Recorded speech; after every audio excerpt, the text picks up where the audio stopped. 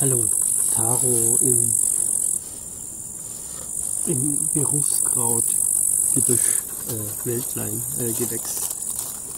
Und hier mit Grashüpfern im Hintergrund. Und ich habe mir hier ein kleines Kastendistello gebaut. Ist zusammengeleimt mit so Klemmen festgeschraubt, damit guter Druck ist. Hier ist das Mundstück, abgeschliffen. 3 cm auf 2,5 cm. Dann geht hier so ein Kanal durch, der ein bisschen größer wird, so von 3 auf Schluss auf 5 cm.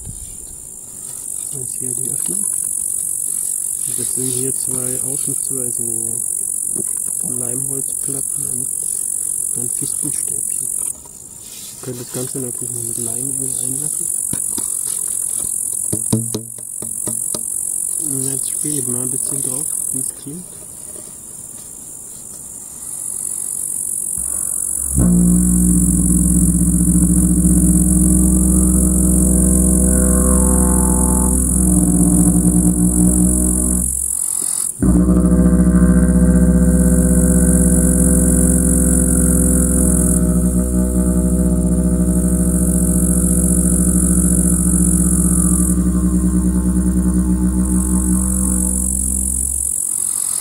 Mm-hmm.